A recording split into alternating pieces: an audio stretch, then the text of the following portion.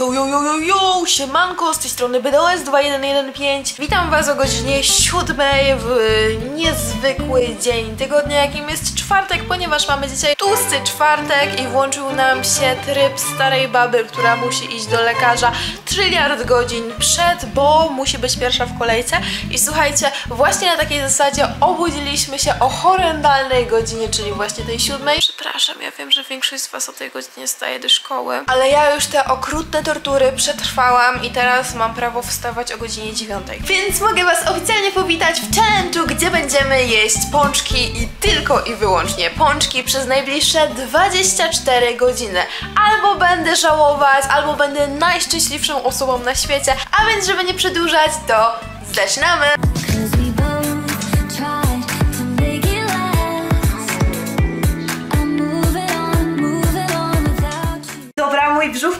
Challenge'em wygląda tak. Nie jest jakiś bardzo napuchnięty, jest taki, powiedziałabym, w miarę, w miarę płaski. No jestem w trakcie akurat diety, więc dzisiejszy dzień to będzie totalny cheat, jedno wielkie oszustwo. Ale zobaczymy, jak bardzo brzuszek mi napuchnie po tym całym dniu. Mamy już godzinę ósmą, ja się troszeczkę z Amadim ogarnęłam. Amadi chyba troszeczkę mniej ogólnie. Cały czas marudzi, że ma opuchnięte oczy, ale słuchajcie, ja też pierwszy raz od nie pamiętam kiedy to mi się zdarzyło. Malowałam kreski 8 razy. 8 razy, bo za każdym razem jedna nie była porównywalna do drugiej. No po prostu myślałam, że wyjdę z siebie, ale ogarnęłam temat i jest w miarę równo. Tak naprawdę e, wszystko ratują rzęsy, no ale never mind. Słuchajcie, jedziemy do najlepszej e, pączkarni w Warszawie, czyli do pracowni cukierniczej. I z tego co czytałam, ja tam nigdy nie byłam jakby co, więc nie wiem czy to jest potwierdzone info, ale tam codziennie jest kolejka, więc stwierdziliśmy, że pojedziemy trochę przed czasem, bo jeżeli jest tłusty czwartek, to może jednak na ludzi to zadziałało i będzie jeszcze dłuższa kolejka. Zobaczymy, czy ludzie tam faktycznie czekają jak baby do lekarza. Babcie. Baby do lekarza. Baby? Baby. Nie babcie. Baby! Słuchajcie, czego nie robi się dla kontentu? Przejechaliśmy pół godziny przed czasem, a pokażę wam jaka jest kolejka. Kolejka idzie tutaj, tutaj, tutaj, tutaj. Ona jeszcze tu zakręca, tam idzie. Tam, tam, tam, tam, tam.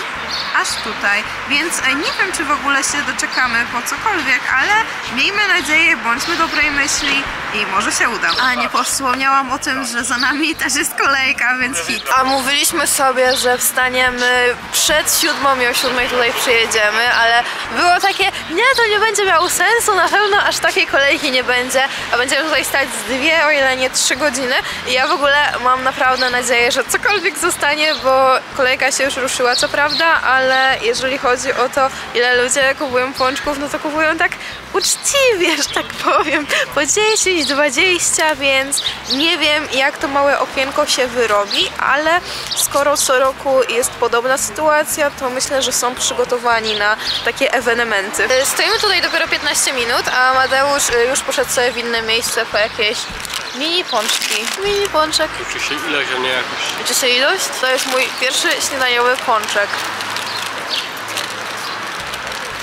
Będę płakać na koniec dnia.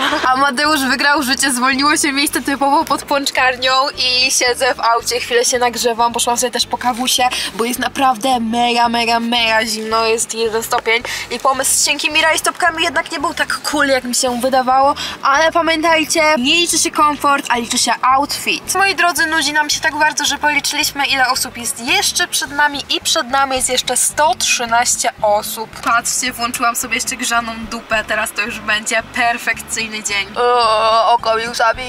Doprawdy mi przykro, że musicie stać na tym zimnie, na tym mrozie i czekać na pączulki, ale ja bardzo chętnie przyjmę was w moje skromne progi mego auta i wynajmę chętnie 5 minut za 5 zł na rozgrzewkę, na rozgrzanie. Mogę też podgrzać dupę w gratisie, więc widzę. If you know what I mean, ja serdecznie naprawdę zapraszam. Dobra, nie będę pipka. Idę stać w tej kolejce. Idę wstać, idę stać. Biorę czapę dla Amadeusza. Ogólnie jak ludzie wychodzą z tej poczkarni, to są albo tacy dumni, albo uciekają z popłochu, że ktoś im zgarnie te pączuchy. Ale w sumie nie dziwię się, bo nam też przyszedł taki pomysł, żeby, bo gościu był w taksówce i przyniósł sobie pączki i my stwierdziliśmy, że szybko wbijamy tej taksówki, bierzemy pączki i uciekamy, ale nie byłam taka paskudna. Moi drodzy, jeżeli jest jakaś osoba, która jest w ciąży i chciałaby nam dzisiaj pomóc, to poszukujemy ciężarnej kobiety żeby szybciej stać w kolejce.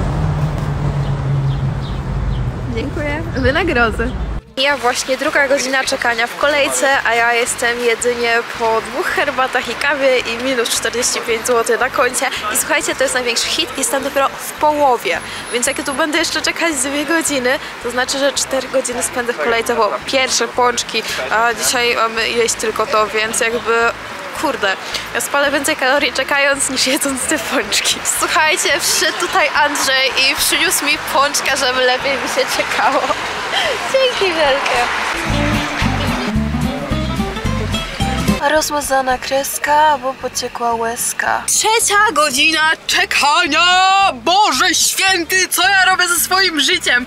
Słuchajcie, Amadeusz pojechał do domu, przywiózł mi dresy, górę, dół, y, szalik puchaty, ponieważ ja już autentycznie nie czuję swoich stóp. Moje stopy są tak twarde, że po prostu Boli mnie nawet stanie. W ogóle przemarzło mi kolano, to które mam chore i zaczęło mnie też boleć. Ja walę, po prostu masakra. Jak patrzę na tą kolejkę, no to tak przynajmniej jeszcze z półtorej godziny będzie tego czekania.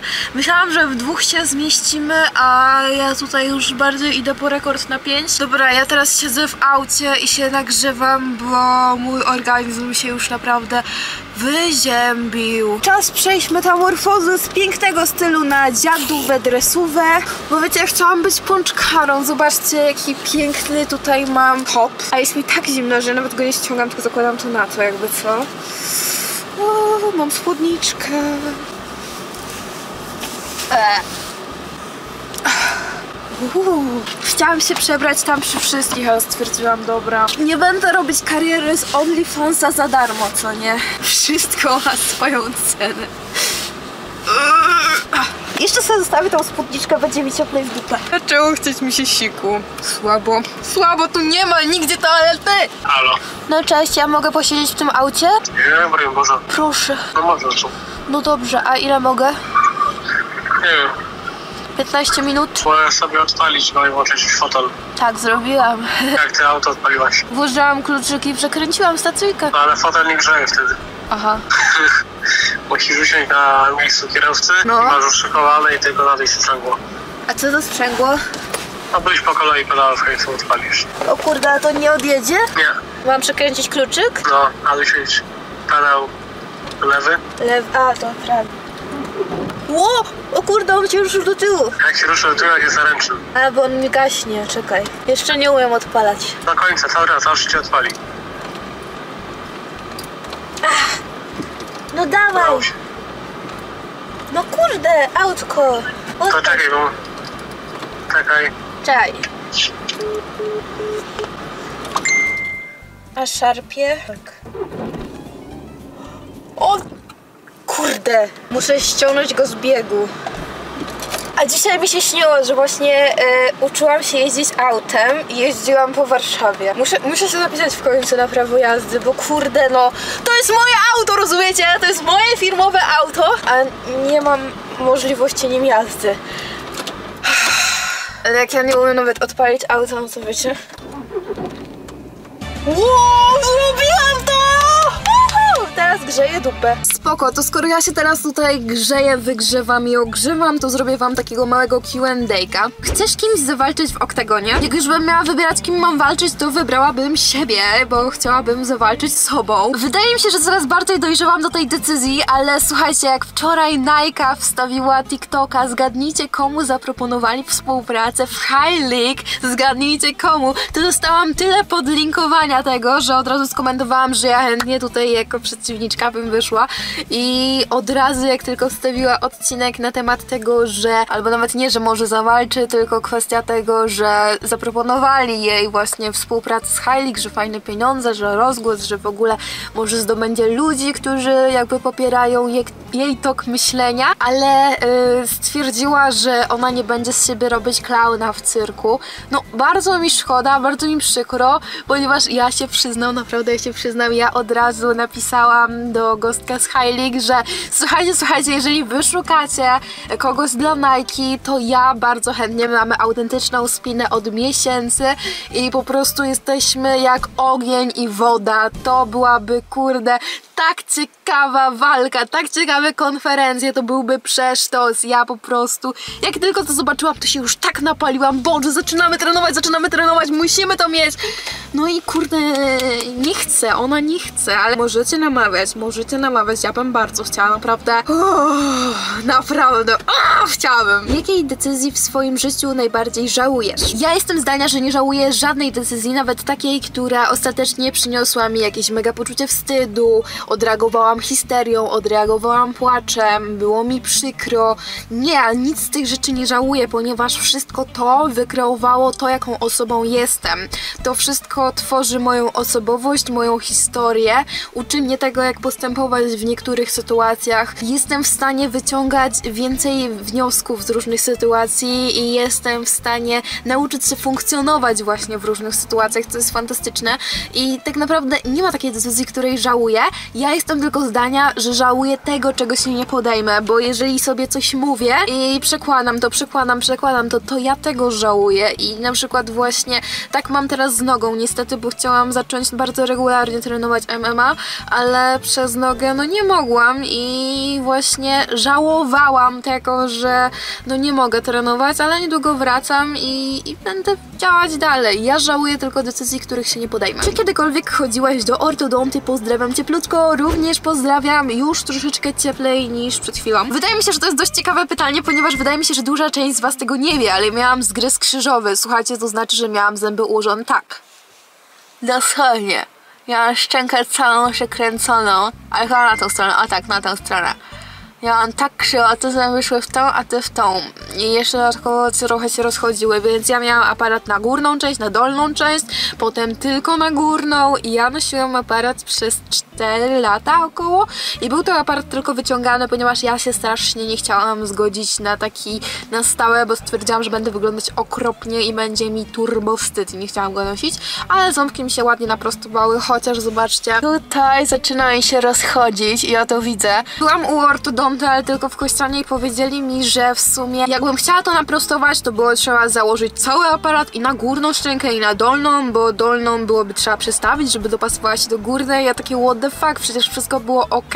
Ja ogólnie mam specjalnie tą tylną, znaczy dolną szczękę cofniętą do tyłu, żeby ładnie pokazać te ząbki do góry. Ogólnie powinno być tak, ale ze względu na to, że ja bardziej chciałam właśnie uwydatnić tą górną szczękę, no to ja mam troszeczkę przesuniętą szczękę do tyłu, a babka mi powiedziała, że jeżeli chcę naprostować to, to musimy założyć cały aparat na górę i na dół, e, albo w ogóle jakby od środka zakładać. Ja stwierdziłam, Boże, nie chcę mi się w to babrać, ale pójdę do ortodonty jeszcze z ciekawości w Warszawie, bo możliwe, że się uda tak, że tylko na ten dół byśmy założyli i jeszcze od tyłu, żeby nie było widać, co byłoby spoko dla mnie. Czy jakby ktoś ci zapłacił na przykład 10 tysięcy, to byś się spotkała z babą ze szkoły, której nie lubisz? Wydaje mi się, że wszystko, jak i każdy ma swoją cenę. 10 tysięcy za spotkanie się z babą ze szkoły, której nie lubię, okej, w sensie dla mnie to jest git, mogłabym za takie pieniądze spotkać się z kimś, bo ja się czuję obecnie wyżej niż ta taka baba ze szkoły, która mnie nie lubi, bo wydaje mi się, że jeżeli ktoś mnie tak bardzo jechał, krytykował, poniżał cały czas, a nie spełniłam jego oczekiwań, bo w oczekiwaniach ludzi, którzy cię krytykują jest to, żebyś upadł na samo dno. I gdybym upadła na samo dno, to czuję, że to byłaby za mała stawka, bo byłoby mi się wstyd spotkać. Ale teraz ja bym mogła wyjść nawet za darmo i powiedzieć Hej bitches, jestem do góry i patrzę na ciebie, właśnie ja z góry teraz na ciebie patrzę. Teraz ja cię mogę mierzyć, a nie ty mnie. Więc to jest zajebiste i ja jestem dumna z tego, że jestem gdzie jestem i co osiągnęłam i że cały czas się rozwijam, więc mogłabym, bo to byłoby dla mnie takie jeszcze udowodnienie i właśnie wbicie takiej ostatniej chamskiej szpileczki w stosunku do osoby, która po prostu zachowywała się dla mnie i w stosunku do mnie bardzo źle, powiedziałabym, że wręcz karygodnie, przykro, no nieludzko. Mała zmiana strategii, Amadeusz nadal tam czeka, zostały 63 osoby, to już jest 3,5 godziny czekania, a ja w tym czasie wzięłam sobie Ubera i jedziemy po najgorsze pączki w Warszawie. Właśnie kupiłam tutaj pączki i są to warszawskie pączki, tradycyjne, pracownia, jak widzieliście. Wybór był bardzo duży, ale jak już przyszłam i chciałam wziąć z kremem Ferrero, Kinder Kinder Bueno i coś tam, to okazało się, że została tylko dzika róża i to są właśnie te najgorzej oceniane pączki na Google. No zobaczymy, zaraz będziemy to testować i sprawdzać, ale chcę to porównać jednocześnie z najlepszymi, więc zobaczymy.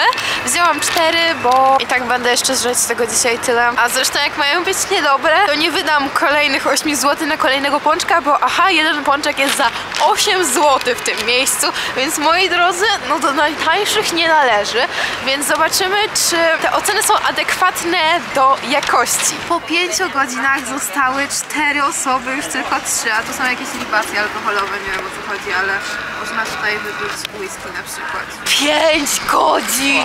5 godzin stania, mamy to! Dobra, spaliliśmy tym czekaniem na zimno e, wystarczającą ilość kalorii, żeby teraz e, je zjeść. Kupiliśmy 24 pączki, bo bierzemy je jeszcze do kościana, skoro to są najlepsze pączki w Warszawie, to jakby poczęstujmy częścią naszej stolicy e, moją rodzinę. Zaraz robimy wielki test! Fajnie tak po staremu jest zapakowane. Skąd ty wiesz, jak kiedyś pączki pakować? No nie no, tak mi się wydaje, że tak po staremu, tak, tak przywiązane, tak fajnie. Dobra, uwaga, to jest najgorzej oceniany pączek wedle Google, a to jest najlepiej oceniany pączek wedle Google. Teraz to fajne, tak jak moje babuni. A teraz najgorszy. Ale różnica, ale naprawdę. Ten jest taki bardzo mięciutki, delikatny, taki, no nie wiem, no, rozpływający się w ustach, a ten jest bardzo twardy. Tu jest nadzienie różane i tu też jest nadzienie różane. Tutaj nadzienie wygląda tak, a tutaj ludzie się skarżą, że praktycznie nie ma nadzienia, więc dokopmy się do niego. Tu mamy tyle nadzienia. Twardy jest, serio. To jest Jamłowicz. O, No, co nie? Ten pączek kosztuje 3,50, a ten 8. What the fuck? Wydaje mi się, że zdrowe osoby nie czekałyby 5 godzin na pączka, ale nie jestem zawiedziona. Uważam, że warto, co nie? Naprawdę ciasto jest super. Naprawdę super. Ale całkiem sympatyczne było to, że w tej kolejce zawierały się takie nowe znajomości. Nie powiedziałabym, że przyjaźnie, ale w sumie ludzie gadali tak na luzie, jakby się znali od nie pamiętam kiedy. I tam każdy z każdym po prostu już każdy był tak znudzony tym czekaniem, że gadał. I, ale nikt się tam nie irytował praktycznie. Znaczy w sumie największe spiny ewentualnie właśnie były tam przy drzwiach wcześniej. Wychodziła kobieta w ciąży. Była w kurtce, więc nie było widać, że jest w ciąży. Babka do niej. A co pani tu robi? Tam jest kolejka, ale ja jestem w ciąży. A to prze- przepraszam bardzo, a to dobrze, to dobrze. Nie, naprawdę, ludzie się tam bulwersowali, ale kurde, ja chciałam też przemycić babkę w ciąży, żeby nam przepuszczała nas, no ale trudno. Teraz jedziemy po fit pączki. Słuchajcie, teraz e, pączki dla sportowców, dla ludzi na diecie, czyli w sumie dla mnie. E, Tam są pączki wegańskie, pączki keto, pączki z niską e, zawartością cukru albo w ogóle bez cukru. I lecimy na fit cake'a. Kochani moi, a więc za trzy pączusie z fit cake'a zapłaciłam łącznie 39 zł. Otwieramy i co oni mi zrobili? Masakra, masakra, masakra, masakra. Jak na to, że zapłaciłam za to 39 zł, to słuchajcie, oni mi rozpierdzieli pączusie. Tutaj pół mam... pączka. Co? Są połowy pączka. No takie malutkie to są. A więc It Go Home i najbardziej jestem ciekawa tego pączka keto. On jest taki ślizgi, że ciężko go chwycić w ręce, ale ugryźmy. Mmm, o kurde. On w środku wygląda trochę jak chleb, ale on jest jakby pieczony, bo to jest takie bardziej ciasto, takie ciastowate, takie bardziej jak placek niż jak pączek. Ale w środku ma bardzo dużo tego nadzienia fajnego i ono jest serio dobre. Ciężko mi określić smak tego, to jest taka śmietanka. Ogólnie to nie jest żadna reklama sponsorowana ani nic, ale jeżeli ktoś z Was jest na diecie mm, i mieszka w Warszawie, to z całego serduszka polecam Fit Cake'a, bo niejednokrotnie, kiedy miałam takie napady na słodycze podczas diety, bo ja jestem trochę uzależniona od cukru, tego nie ukrywam. W sensie na przykład nie słodzę herbaty, nie lubię słodzonej herbaty, ale kocham czekoladę i tak dalej. To Fit Cake bardzo ratuje dupę, bo oni mają bardzo zdrowe te słodycze, e, nie używają cukru, e, mają dla cukrzyków, dla ludzi z Hashimoto, dla wegan, wegetarian, dla ludzi na diecie keto i są naprawdę bardzo dobre te słodycze. Odpowiedzcie mi na pytanie, czy jestem dziwna, czy tylko ja tak miałam, czy jednak jest was więcej. Iwu, Iwu wylizuje mi rękę, bo mam od pączka. Ale jak byłam mała, to ja z pączków najmniej lubiłam nadzienie. Ja zjadłam całego pączka, ale zostawiałam nadzienie i zostawiałam je w ogóle mojej mamie, żeby zjadła, bo nie chciałam go wyrzucać. Ale moja mama chyba, chyba je wyrzucała, nie wiem czy zjadała samo nadzienie po mnie, ale dla mnie, dla mnie pączki z nadzieniem były bez sensu, bo to nadzienie mi nigdy nie smakowało, bo ja nie lubiłam dżemu kiedyś w ogóle. Obiad dzisiaj zjemy w Biedronce. Mam w sumie tutaj różne pączki, ale dzisiaj nie jedliśmy żadnego donuta, donata. To zwał, tak zwał. No i tutaj mamy przeróżne donuciki, no i chyba przemawia do mnie ten WW od Wedla. Tutaj mamy takie z pianeczkami, też wyglądają fajnie. Tutaj są takie jakby całe zadziurkowane. I tu są te takie najtańsze pączulki za 59 groszy, więc w sumie też sobie weźmiemy na próbę najtańszego, skoro mamy też najdroższe. Przywitać też musimy Lidlowe pączuszki! No nie, moi drodzy, najgorzej zostały tylko te najzwyklejsze. Nie będę brać 150 zwykłego pączka, a wczoraj jeszcze były wegańskie, były takie z nadzieniem serowym. I jeszcze słodycze z lodówkami i właśnie na to czekałam. Specjalnie wcale nie brałam, bo chciałam wam dzisiaj pokazać, ale jak widać już ich nie ma. Mamy godzinę 17.20, więc czas na obiadek. Zaraz lecimy do Mai, żeby ją poczęstować pączuszkami. Jednak fajnie, bo Maja przyjedzie do nas. Myśleliśmy, że my musimy lecieć do niej, bo ona była na zakładaniu nowych włosków długich. E, No i myśleliśmy, że to potrwa do 19, więc będziemy musieli jechać, ponieważ my wieczorem jedziemy do Kościana. Iwi! Iwi właśnie przegryzła lampki, przez co świeci się, a właściwie nie świeci się co drugi sznur. I świeci się co drugi sznur, dobra, bo wchodzi na to samo, ale po prostu Boże, jak to wygląda. Amadeusz robi jakiś szachermacher z przeprawami, łączy te kabelki, to znowu świeci, ale one zaczynają się już coraz bardziej przypalać, więc myślę, że to jest już ostatnie po prostu miesiąc, o ile nie tygodnie żywotu tych lampek. Będę musiała zamówić nowe. No to wracając, jest mi tak turbo mdło, nie, że chce mi się wymiotować, ale czuję się taka przepełniona i jak już zjadłam ten obiad, to w ogóle... No, nie boli mnie brzuch, ale czuję tutaj taką wręcz zgagę. Jest mi bardzo nieprzyjemnie po prostu, inaczej bym tego nie nazwała. A jeśli zabieram zapakowanie rzeczy e, do kościana, jeżeli chodzi o moją toaletkę. Może nie powiem, że żałuję, bo takie cheat day od czasu do czasu są fajne, ale na pewno mam dosyć, więc e, godzina 18 no już jest takim, mm, mm, mm, że nie wiem, czy zjem jeszcze cokolwiek, ale postaram się jeszcze nie przełamywać tego smaku czymkolwiek innym. Zobaczymy, jak będę się czuć za godzinę albo dwie. Dobra, słuchajcie, jest Maja i robimy wielki test pączków. Mamy tutaj pączka najdroższego, czyli za 8 zł, mamy tu pączka za 66 groszy oraz pączka za 3,50. Jeden pączek jest uznawany za najgorszego pączka w Warszawie, drugi jest uznawany za najlepszego, a trzeci jest z sieciówki, ale nie wiadomo, który jest... Sieciówki w sensie, że z Biedronki czy Z Biedronki, no. Kurde, one wszystkie, żaden z tych pączków nie wygląda jakby miał być drogi. I żaden z tych pączków nie wygląda jakby miał być najdroższy w Warszawie. Mega, coś jest strasznie ciężko będzie to ocenić, chyba że po smaku, ale... No, wydaje, wydaje mi się, że da się określić po smaku, bo ja próbowałam wszystkich. No mi się kojarzy takie żółte, że to jest z tych tanich pączków, nie? Tak, tak, tak w opcji to wygląda strasznie. Co nie? Za- Zawsze ten taki Tak, tak, suszona tak. pomarańczka. Ten wygląda najładniej, więc... A, jaki mięciutki. No próbuj. Poczekaj. Nie, musisz spróbować wszystkie, żeby mieć porównanie w ogóle. No jest dobry. Na stówę ten jest najtańszy. Nie ma opcji, że nie jest. Ten jest jakiś w ogóle... Połowy lukru nie ma. W sensie, bo mieliśmy ich trochę. Nie wiem, nie. Poczekaj, ja ocenię. Że jak spróbujesz trzeciego, myślę, że będziesz miała zarys. Muszę ugryźć bez tego, bo ja nie wiem, kto w ogóle lubi to żółte. Co to jest? Ja też to zawsze skupuję owoce kandyzowane. Co cukrze. kurde wymyślił w ogóle? Nikt tego nie lubi. No, znaczy wiesz co, ja jadłam kandyzowane kiwi jakiś czas temu i to było dobre akurat, ale... Mm, no to już mi okej. Nie wiesz? Poczekaj! Mm, najdroższego, najtańszego i średniego, nie? Tak. Ten, który jest najlepszy, znaczy najlepiej oceniany i ten, który jest najgorzej oceniany. To są podobne strasznie. Ten jest najlepszy na stówę, bo jest taki mięciusi. Ten jest na pewno najdroższy, ale z tymi dwoma... E, najdroższy czy najlepszy, czy... Najdroższy i najlepszy, ale poczekaj. Dobra, wiem, no 100% wiem. No. Najdroższy, średni i z Biedry. O kurde, nie, totalnie nie! Totalnie nie! Jak to nie? Nic. A druga, Jak nie? A druga próba podejścia?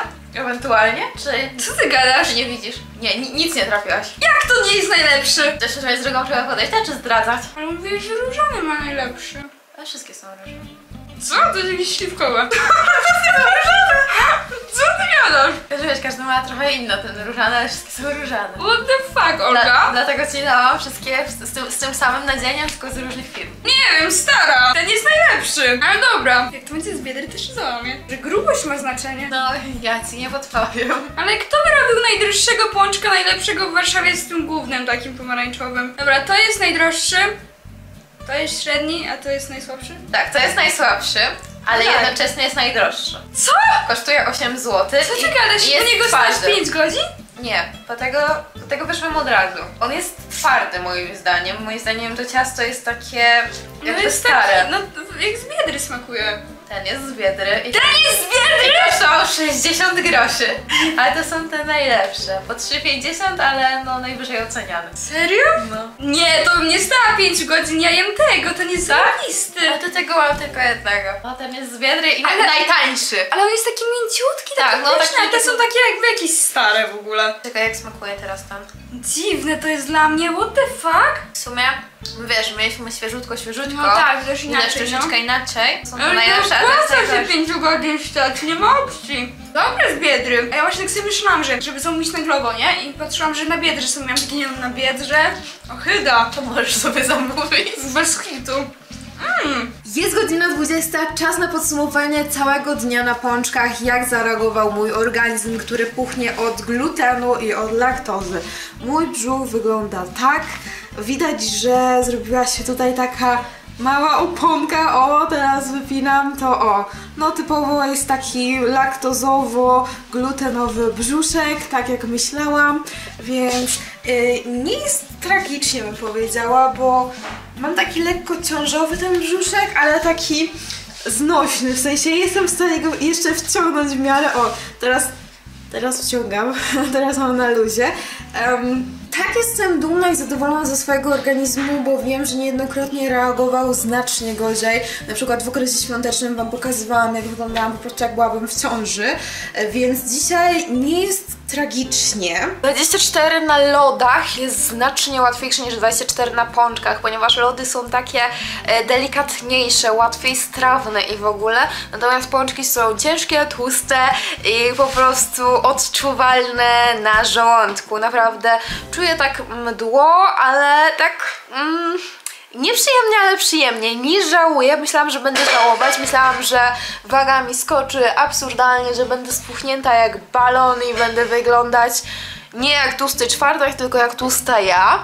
E, no ale w rzeczywistości nie było aż takiej tragedii, więc oceniam ten challenge takie 6 na 10. My się zaraz zwijamy do kościana, a ja się już z wami żegnam i tak na dzisiaj tyle koszynki. Mam nadzieję, że odcinek wam się podobał. Jeżeli tak, to koniecznie stawcie kciuki w górę.